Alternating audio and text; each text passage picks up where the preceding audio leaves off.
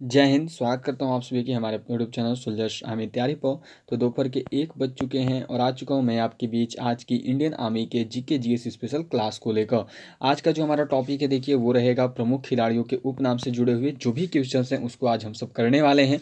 आज का क्लास हमारे लिए बहुत बहुत बहुत ही ज़्यादा इंपॉर्टेंट है इंडियन आर्मी के एग्ज़ाम्स के पॉइंट ऑफ़ व्यू से। ऐसे तो जो भी क्लासेज आपकी एक बजे ली जाती हैं, जो भी टॉपिक आपको करवाई जाती हैं, वो वही टॉपिक्स होती हैं जिनसे कि आपके क्वेश्चन आएँ।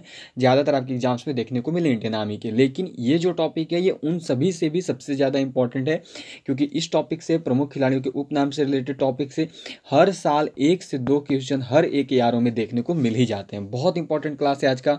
सभी कोई क्लास के एंड तक ज़रूर बने रहेंगे। जल्दी से क्लास को शेयर कीजिए अपने और भी फ्रेंड्स के साथ। उसके साथ साथ जो भी क्लास अटेंड करो जल्दी से सब कोई लाइक बटन प्रेस करिए, क्योंकि देखिए आपके लाइक से हमें अप्रिसिएशन मिलती है, जिससे हम आपके लिए और भी अच्छे तरीके से काम कर पाते हैं। और उसके साथ साथ जो भी हमारे यूट्यूब चैनल पर नए होंगे, वो चैनल को सब्सक्राइब करके बेल आइकन को ऑल पे ज़रूर सेट कर दीजिएगा। क्लासेज की रूटीन सभी को याद रखिएगा। रोज़ दोपहर एक बजे जो है आपका इंडियन आर्मी का जीके जीएस का क्लास आता है एंड रोज़ शाम सात बजे जो है आपका देखो इंडियन आर्मी का प्रीवियस ईयर क्वेश्चन पेपर का क्लास आता है। तो आप सभी हमारी दोनों क्लासेज में हमारे साथ ज़रूर जुड़े। और उसके साथ साथ एक और बात की टेलीग्राम ग्रुप चैनल की ऑलरेडी बन चुकी है, ठीक है? तेईस सौ ज़्यादा बच्चे जो हैं उस ग्रुप में ज्वाइंट हो चुके हैं।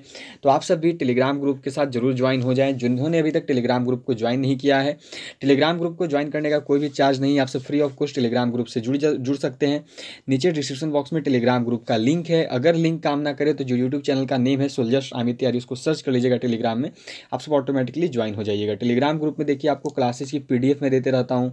उसके साथ साथ आपके साथ इंपॉर्टेंट क्वेश्चन जो कि इंडियन आर्मी के एग्ज़ाम में आ सकती हैं या पिछले वर्षों में आई हुई हैं, वो मैं शेयर करते रहता हूँ। और भी बहुत सारी इंपॉर्टेंट जो बातें हैं, वो आपके साथ टेलीग्राम पर हो जाती हैं। तो सभी टेलीग्राम ग्रुप से ज़रूर जुड़ जाएँ। तो चलिए शुरू करते हैं आज की क्लास को क्वेश्चन नंबर वन के साथ। क्वेश्चन नंबर वन देखो, यहाँ पे आपका क्या दिया हुआ है कि हॉकी के जादूगर किसे कहा जाता है? Where does the hockey magician go किसे जो है हॉकी का जादूगर कहा जाता है? Whose nickname is hockey magician, किसे बोलते हैं? मेजर ध्यानचंद को, पीटी उषा को, मैरी कॉम को या फिर सौरभ गांगुली को। किसे जो है हॉकी के जादूगर के रूप में जाना जाता है, ये जो है आप सबको यहाँ पर बतानी है। तो देखिए, हॉकी का जादूगर किसको कहते हैं? तो हॉकी का जादूगर जो है बोला जाता है मेजर ध्यानचंद को। और इंडियन आर्मी में 2017 से लेकर 2021 तक के ज़्यादातर ए के पेपर में आपको ये क्वेश्चन देखने को ज़रूर मिलेगा, हॉकी का जादूगर किसे कहते हैं?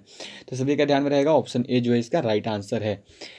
चलिए नेक्स्ट क्वेश्चन करेंगे, जो कि यहाँ पे देखो आपका दिया हुआ है कि उड़न परी के नाम से किसे जाना जाता है? Who is known by name of उड़न परी मेजर ध्यानचंद पीटी उषा मैरी कॉम या सौरभ गांगुली? 2020 के पेपर में ये क्वेश्चन आया हुआ है, सभी को ही बताइएगा कि उड़न परी के नाम से जो है किस खिलाड़ी को जाना जाता है? उड़न परी जो है किसको बोलते हैं? तो लगभग सभी ने पढ़ रखी है उड़न परी के नाम से देखिए जाना जाता है पी उषा को। राइट आंसर क्या होगा? तो option B P T Usha ठीक है?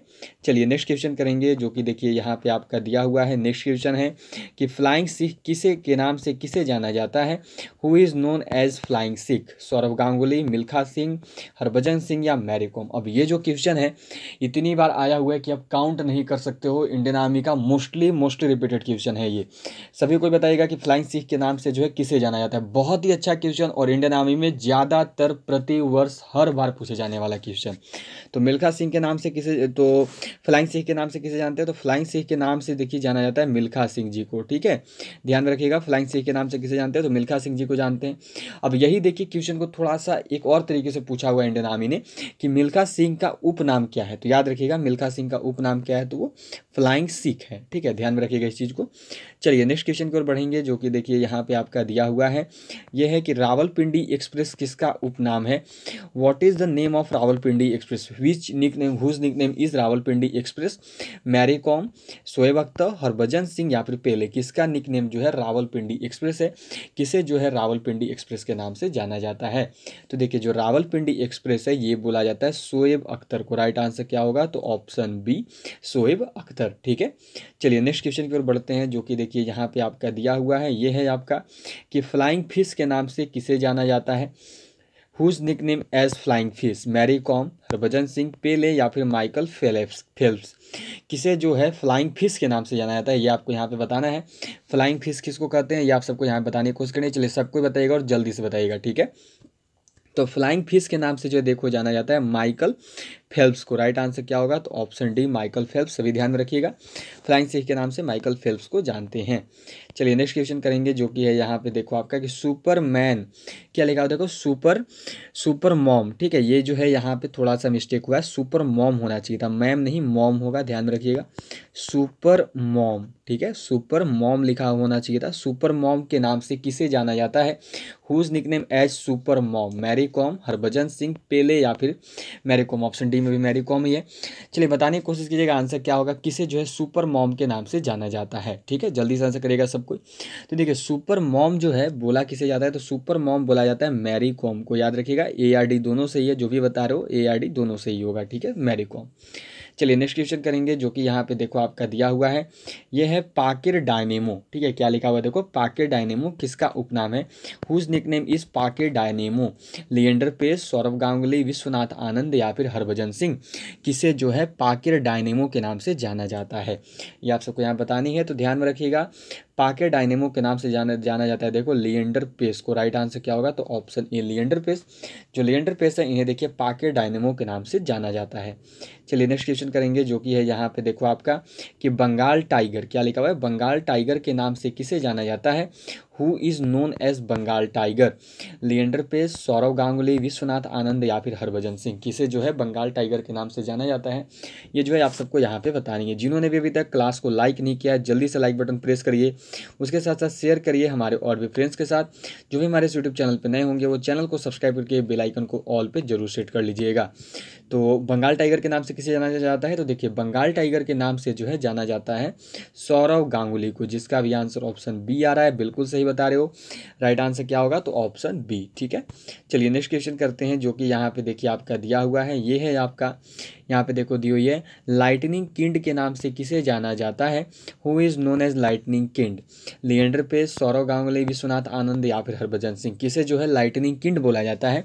ये जो है आप सबको यहाँ पे बतानी है। चलिए सबको आंसर करिएगा और बिना किसी मिस्टेक के करिएगा, ठीक है? जल्दी से आंसर करिए और सबको ही करिएगा। तो विश्व तो यहाँ पे देखो जो लाइटनिंग किंड है, ये बोला जाता है विश्वनाथ आनंद जी को। राइट आंसर क्या होगा? तो ऑप्शन सी विश्वनाथ आनंद, ठीक है? चलिए नेक्स्ट क्वेश्चन करते हैं, जो कि यहाँ पे देखो आपका दिया हुआ है, ये है आपका। द वॉल किसका उपनाम है? Whose nickname is the wall Rahul Dravid Saurabh Ganguly, Vishwanathan Anand या फिर हरभजन सिंह। किसे जो है द वॉल बोला जाता है, ये जो है आप सबको यहाँ पे बतानी है। चलिए सभी को आंसर करिएगा। और जल्दी से आंसर करिएगा, बिना किसी मिस्टेक के करिएगा, ठीक है? सबको पढ़ाया हुआ है।